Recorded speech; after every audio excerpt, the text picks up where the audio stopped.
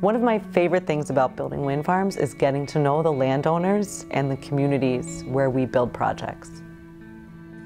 EDPR prides itself on becoming part of the community.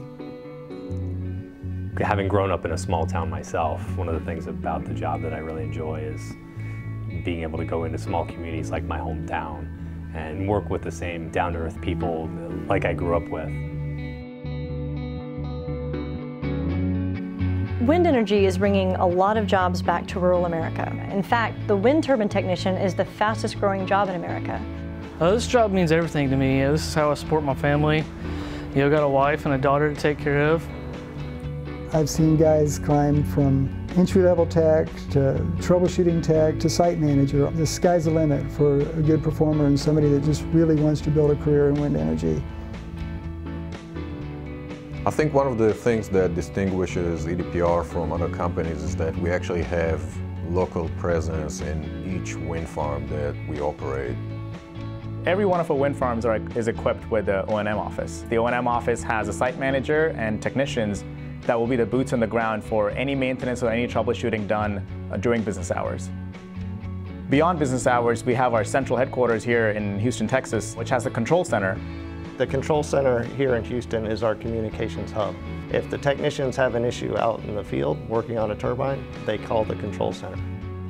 Means We have operators 24-7, round the clock, 365 days a year, who are watching these turbines and making sure that everything goes perfectly fine. We don't want a turbine to be out in the field and not producing power.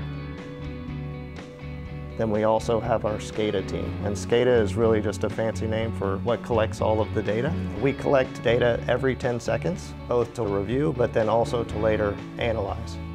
All of this is to make sure that our turbines perform like they're supposed to, and we have a very limited impact on landowners' land. Many times when we build a wind farm, the employees that come and work at that wind farm have been in the area for their whole life a number of the young people that have fled rural America to find jobs in the big cities are now finding an opportunity to come back and work in the wind turbine industry. They're closer to their families and they're back home where they want to be. A lot of the places where we develop wind farms and have operational projects, we are the largest taxpayer in that community.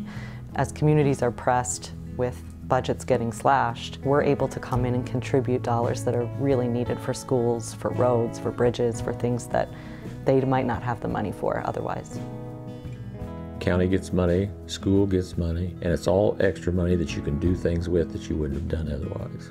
We are definitely saving the county a lot of money because EDPR is going to build several miles of road we're able to upgrade roads that we would not have financially had the, uh, the tax dollars to do that. In the past 10 years, we've paid over $250 million in property taxes to local jurisdictions based on the value of our equipment. This is money that goes into the local communities and to provide for better education for the local schools. I've been in schools where more teachers have been hired. Students with learning disabilities are able to get new technology that before they didn't get to have. I've been in communities where county commissioners have told me that because of the wind farms, they were able to hire paramedics. They were able to, you know, they're 30 miles away from the nearest hospital and, and because of the revenue from the wind farm, they were able to buy an ambulance. We're going into these small towns and helping to revitalize wonderful communities and bring tax base and jobs. It's a great joy to me to be able to come into these little towns and meet the people and feel like you become a part of the community. And developing those types of relationships is really important to me, not just as an employee of EDPR, but as a person.